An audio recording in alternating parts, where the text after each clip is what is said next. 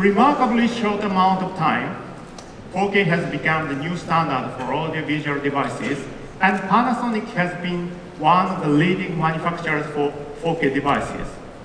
For Panasonic, 4K has never been about pure resolution, and we have consistently innovated to deliver premium 4K products.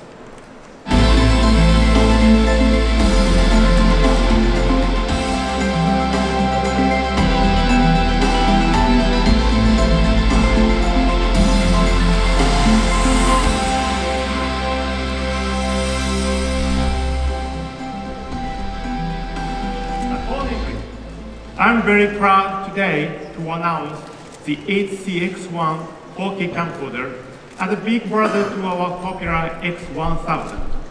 The X1 captures 4K video in 50 or 60p and Panasonic's first camcorder with a 1-inch sensor and additionally the first camcorder in the industry to combine a wide 24mm lens with optical 20 times zoom.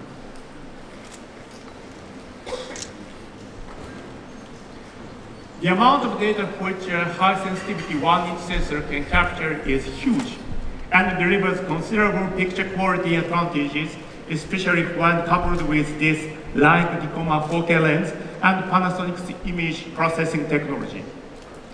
One-inch sensors, however, also creates new challenges. One such challenge is how to overcome slow autofocusing caused by the focusing algorithm being overloaded with data from the massive sensor making them poor for action or spot scenes.